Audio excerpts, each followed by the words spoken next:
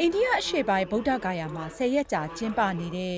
နိုင်မာမော်လမ်ပွဲတော်အတွင်းဗုဒ္ဓဘာသာဘုန်းတော်ကြီးတွေဟာကမ္ဘာငြိမ်းချမ်းရေးအပါအဝင် COVID-19 ကပ်ရောဂါကြီးပပျောက်အောင်ဆူတောင်းပွဲတွေပြုလုပ်နေပါတယ်။ကပ်ရောဂါကာလဘုန်းတော်ကြီးအပါးတရာလောက်ပါဝင်တဲ့ဆူတောင်းပွဲတွေအတွက်သက်ဆိုင်ရာတာဝန်ရှိသူတွေရဲ့အထူးခွင့်ပြုချက်ရယူခဲ့ကြောင်းဘုန်းတော်ကြီးတစ်ပါးကအခုလိုမိန့်ကြားပါတယ်။ ये मतलब निर्देश अनुसार हम यहाँ पर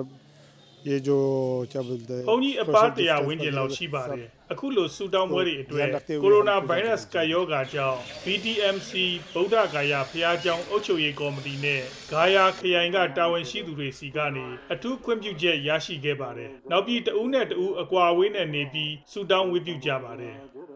ဗုဒ္ဓဘာသာဝင်တွေအထွတ်မြတ်ထားတဲ့မဟာဗောဓိဇေဒီမှာတန်ဃာတော်တွေဟာငြိမ်းချမ်းရေးနဲ့သဟဇာတဖြစ်ရေးကက်ယောဂါဆိုးကြီးပပျောက်ရေးအတွက်တရားစာတွေရွတ်ဆိုဆူတောင်းခဲ့ကြပါတယ်။ ဒါအပြင်ဆူတောင်းပွဲအခမ်းအနားရည်ရွယ်ချက်ဟာအနုမြူလက်နက်တွေနတ်ဆိုးတွေကြောက်မက်ဖွယ်ကောင်းတဲ့ယောဂါတွေတဘာဝဘေးရန်တွေကိုဖယ်ရှားဖို့ကမ္ဘာငြိမ်းချမ်းရေးဗုဒ္ဓရဲ့ပြည့်ပြည့်စုံတဲ့တရားတော်နဲ့အညီဖြစ်စေဖို့စတာတွေအတွက်ဖြစ်တယ်လို့ဖုံးတော်ကြီးတွေကမိန့်ကြားခဲ့ပါတယ်။အခုလိုနှစ်စဉ်ကျင်းပတဲ့ဆူတောင်းပွဲအခမ်းအနားကိုထောင်နဲ့ချီပြီးဗုဒ္ဓဘာသာဝင်တွေတန်ဃာတော်တွေစုဝေးတက်ရောက်လေးရှိပါတယ်။ဒါပေမဲ့ဒီနှစ်မှာတော့ကယောဂအခြေအနေကြောင့်ဖုံးတော်ကြီးအပါတရားလောက်ပဲစုဝေးဆူတောင်းခဲ့ကြတာဖြစ်ပါတယ်ရှင်။